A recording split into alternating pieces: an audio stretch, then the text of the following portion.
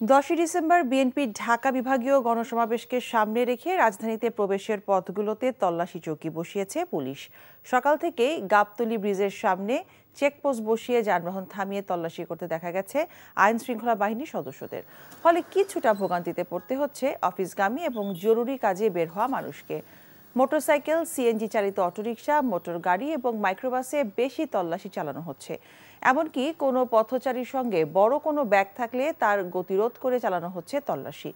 Police বলছে, এটি তাদের রুটিন কাজ। দেশের সাম্প্রতিক পরিস্থিতিতে যাতে নাশকতামূলক কর্মকাণ্ড না ঘটে, সেই জন্য ঢাকার প্রবেশমুখ টঙ্গী বাজার আবদুল্লাপুর, আশুলিয়া সহ বিভিন্ন গুরুত্বপূর্ণ পয়েন্টে চেকপোস্ট বসানো হয়েছে।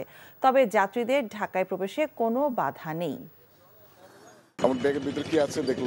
আচ্ছা আচ্ছা। কি কারণে মনে হয়েছে একটু বলেছে? না কিছু বলেনি। ব্যাগ ব্যাগ চেক করছে কি করি এটা? ভাই আবার অফিসে লেট হয়ে যাচ্ছে। হ্যাঁ কোনো ধরনের কোনো আপত্তিকর কোনো বস্তু আছে কিনা ব্যাগে? নিরাপত্তার জন্য হুমকি এসব জিনিসগুলো আমরা মূলত চেক করছি। প্রত্যেক প্রত্যেকটা ব্যক্তির হাতে বা সাথে যে ব্যাগগুলো আছে ব্যাগ বা অন্যান্য যা কিছু আছে সবগুলো আমরা চেকের আওতায় নিয়ে আসছি। চেক ছাড়া একজন ব্যক্তিও যাবে না। না আমাদের রেগুলার চেক পোস্ট এখানে প্রতিদিনই চেক করা হয়।